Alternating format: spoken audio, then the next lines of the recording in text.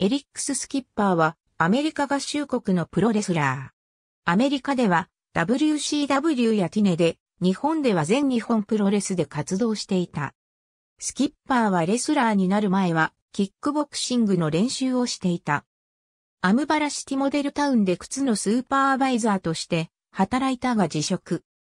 ジョージア州アトランタにある WCW のプロレスラー養成施設 WCW パワープラントでトレーニングを積み、1999年にはインディー団体でデビュー、トレーニング8ヶ月後には WCW サタデーナイトで WCW デビューしている。その後は WCW サンダーや WCW マンデー、ナイトロにも登場し、スキップオーバーのリングネームでパワープラント出身のクルーザー級レスラーと対戦するようになった。2000年8月にリングネームを本名に戻し、ニックネームのプライムタイムを付けプライムタイム、エリックス・スキッパーとして活動。ランス・ストームとマイク・オーサムの試合に乱入し、ストームの結成したチームカナダに加入、同時に WCW クリューザー級王座を授与されている。9月にマイク・サンダースに敗れクルーザー級王座を落としている。2000年後半になると、チームカナダはミスフィッツ・イン・アクションとフィルシー・アニマルズと構想している。2001年初期にスキッパーはチームカナダを脱退し、クルーザー級戦線に集中。2月と3月をキットロメオとのタッグで活動するようになり、3月の PPV では初代 WCW クルーザー級タッグチーム王座を獲得。しかしすぐにフィルシーアニマルズのビリー・キットマンレイ・ミステリオ・ジュニアにダッシュされた。3月末に WCW は WWF に買収された影響でスキッパーは WWF に移籍している。買収されてからは、スキッパーはアライアンスの一員としてデビュー。スキッパーは WWF の下部組織であるハートランドレスリングアソシエーションでトレーニングをするようになるが9ヶ月トレーニングを受けた2001年12月にリリースされている。WWF からリリースされると以前招待を受けていた武藤刑事に連絡を取っている。2002年6月にティネの PPV に登場、同時期に全日本プロレスでの活動するようになり、本名やダーク・ゲレラ、マスクマンのエクストリームブレードとして2002年の一時的な期間全日で活動しており、ティネでは2002年を通して X ディビジョンで活動していた。12月の PPV ではローキーとクリストファー・ダニエルズとトリプル X を結成し、ビンス・ルッソを率いるヒール集団のスポーツエンターテイメントエクストリームに加入している。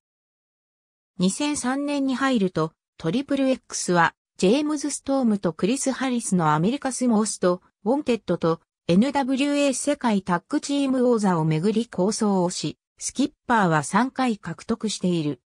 しかし2003年6月にローキーが日本で活動の場を求めるようになると、トリプル X は解散。スキッパーはダニエルズと組んで、 TNA で初のスチールケージマッチでアメリカスモーストウォンテッドの持つタイトルに挑戦するも、獲得に失敗し、抗争は終了している。7月に給料の問題と活動の場を日本に求め、 TNA から去りっているが12月に新しい契約形態を TNA に持ちかけられ復帰して、アメリカズ X カップトーナメントとワールド X カップトーナメントに参戦している。2004年7月にダニエルズとトリプル X を再結成、アメリカスモーストウォンテッドと再び構想を開始している。抗争の過程で互いのパートナーと組めなくなるとスキッパーはクリス・ハリスとタッグチーム王座を獲得するという利害が一致したためタッグを組み、アンディ・ダグラスとチェイス・スティーブンスのザ・ナチュラルズの持つ王座へ挑戦して獲得している。しかし数週間王座を保持したところで、ダニエルズ、ストームのタッグに奪われている。ダニエルズ、ストームのタッグがタイトルを落とすと、トリプル X とアメリカスモーストウォンテッドの構想が再び始まり、11月のビクトリーロードでラストスタンディングマッチをするが、敗北、12月のターニングポイントで刑事マッチでチームの解散をかけて構想最終試合を行うが敗北。構想終了と同時にトリプル X は解散する。トリプル X 解散後は元タッグパートナーのダニエルズと構想をするようになり、2005年4月のロックダウンでケージマッチ方式でティネ X ディビジョン王座へ挑戦するが獲得できずにいる。8月になると X ディビジョンで試合をしつつ、サイモン・ダイヤモンドのダイヤモンズ・イン・ザ・ラフに加入、デビッド・ヤングとタッグを組むようになり、タッグ戦線でも活動するようになる。12月のターニングポイントでは、クリス・セービン、ソンジェイ・ダット、デール・トーボーグと対戦している。2006年もダイヤモンズ・イン・ザ・ラフとのタッグ戦線で活動するがあまり目立った活躍できず、デビットと共に2007年2月に TNA にリリースを要求してリリースされている。7月のビクトリーロードでアルティメット X ガントレットマッチで復帰して、ダニエルズと選手とトリプル X を再々結成している。結成後は、セロトニンやジェイ・リーサル、ソンジェイダットとのタッグ、ラテン・アメリカン・エクスチェンジと対戦している。